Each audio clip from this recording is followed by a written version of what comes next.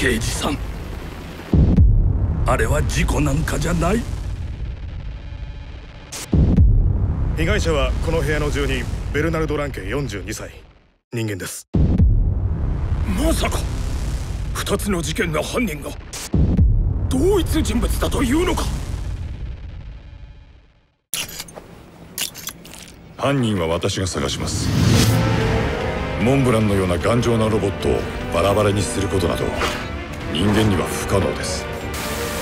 ロボットは人を殺さない。我々がそう作ったからだ。俺たちは進化してると思わないか？君を見ていると人間かロボットか識別システムが誤作動を起こしそうになる。人間とロボットは近づきつつある。断ち切らなくてはならない。この犯人はまたやる。あの方は心から願ってらっしゃいましたロボットと人間の共存を。犯人は人間なのか？それとも？ロボットか。